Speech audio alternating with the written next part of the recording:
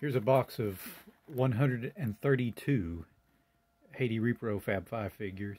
Um, we're going to check these for excess flash and I'm going to talk a little about why it's important to remove that while you're, uh, or right before you start to paint figures. Just a brief inspection of all the figurines looking for any uh, areas that might need to be trimmed um, on most of these type figures, the backers, which I use for offensive tackles and linebackers, uh, the right shoulder may need to be um, uh, trimmed down a little. And there's different ways to do that. Uh, best way is probably with an X-Acto knife. Be very careful with these. This requires adult supervision, by the way. You could also use sandpaper, or if you're very skilled, perhaps nail clippers. Um, that would be my least recommended method. And uh, otherwise, you know, a nail file would probably uh, do the trick. Now, you might take some of the shine off the uh, finish, but hey, you're going to be putting primer on these figures anyway, so that's not too big a concern. So, uh, I don't know how I'm going to do this. I'll just set the ones that need trimming somewhere else, I guess. And I don't know if we'll do all these on camera. Uh, see, there it is again on the shoulder. See right there? Need to trim that down a little bit. You're looking for the mold seam that goes all the way through the figure. Uh, you're just looking for any areas that need to be trimmed down. The helmets often need to be trimmed just a little. Look at the shoulder there. See that flash sticking up there on the shoulder? You'll never get the uh, jersey number on there properly with that there, so that will need to be trimmed down.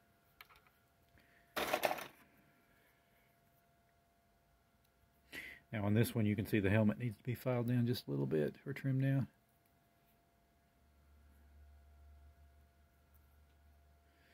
So rather than check all these, it might maybe just be better to assume that they all need some trimming. Yeah, on just about every one of these, the shoulders are going to need to be uh, smoothed down a little bit. This must be where they uh, connect to the sprue tree in the molds. I don't have, I'm not privy to how exactly that process works, but that is where I'm, again, there's just excess flash on all their shoulders here. And sometimes on their helmets. That one needs to be trimmed down a little, that helmet in the middle along the seam. Let's see. Yeah, I've yet to come across one that doesn't need a little work.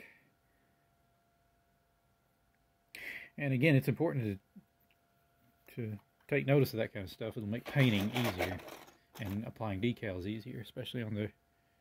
Look there. See on the helmet? See that ridge? Need to get rid of that.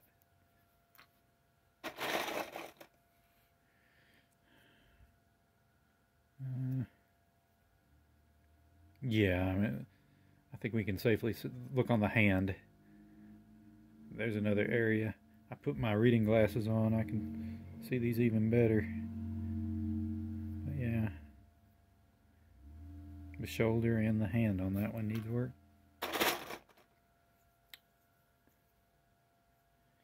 Yeah.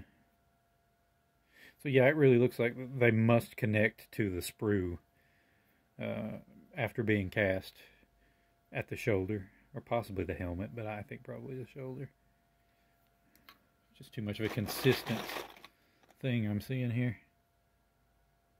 Again, the left shoulder there is going to need to be either trimmed down with the X-Acto knife or filed down in some manner. I don't have any sandpaper. Well, I bet I bet I have some downstairs, but I don't use it frequently enough to know I possess it. Again, on the shoulder there, that needs to be trimmed down. Okay. This is true for any mass-produced electric football figure. Um, you're going to need to ex examine and inspect the figurine before you begin painting it to see anything that needs to be done to it. Looks like on the pants there, there's a little area it needs to get trimmed a little bit.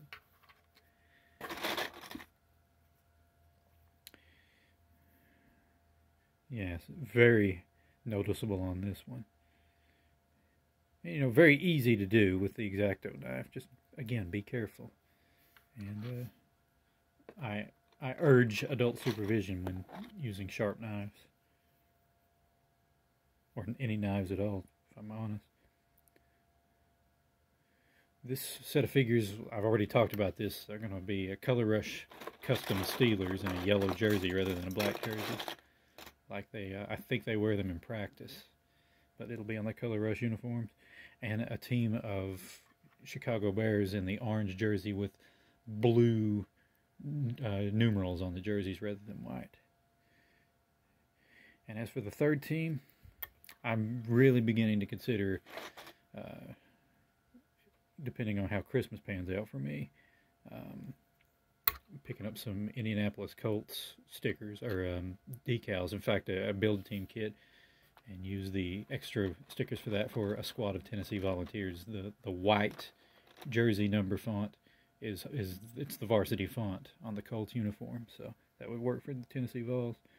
I'd have to get really good at painting that T on the helmet because I won't have decals other than the Colts numbering.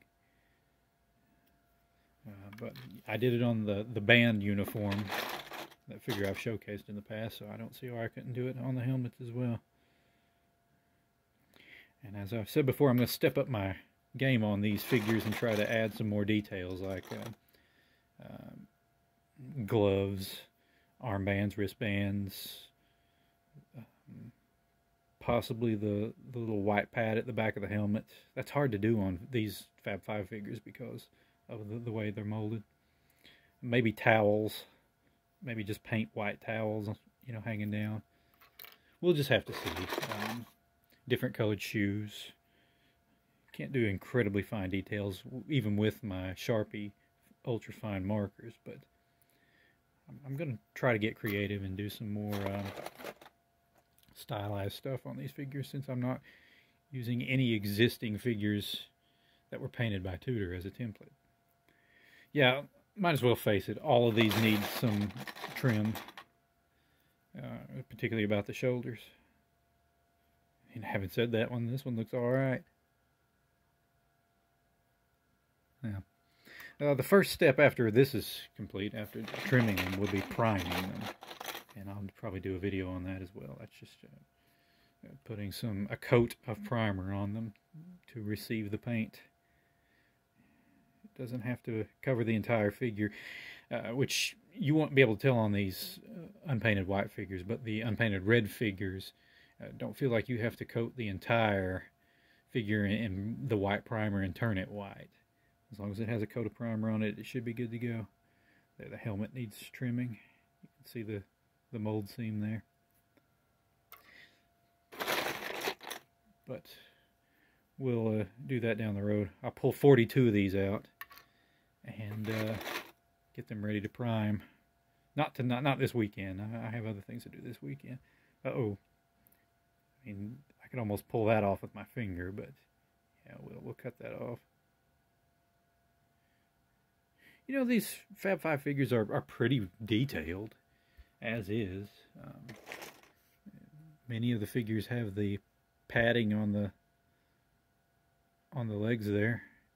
You can see the padding beneath the the pants, or the pantaloons, proper word for them. Yep, definitely. This ha that has to be where they connect to the um, uh, sprue in the the mold. There on the shoulders before they cut them out. So, you know, just trim that off and you're good to go. It's you know, with this many figures though, it's that's going to be quite a task. Get that done and then be ready to start painting as before, I'll uh, probably start painting the base plates with Viper Green. And then uh, probably with this batch, I'm going to actually go ahead and write uh, their jersey number that they will have on here so I can begin to plan. I'm going to look at pictures on the internet and, uh, you know, look at just some actual football players. Look at the, the, the accessories they have, like the gloves and the uh, armbands, wristbands, braces, that sort of thing, and uh, see exactly how I want to paint them. So I'm not just doing it willy-nilly on the fly. Just have a little reference chart. Uh, that's going to save on paint drying out too, when you know exactly which color which color you want for which figures you have set out to paint. Uh, you set out maybe 10 players with yellow shoes, and then set out 10 players with uh, black shoes, 10 players with white shoes, and then that sort of thing. Have that all planned. Have a game plan before you get started. You'll save on paint. And which, if, if you're on a budget, that's that's an important uh, thing to do. Was a little too uh, unfrugal with my paint early on. I had to buy more. Learn my lesson. And so now we're, uh, oh, looks okay.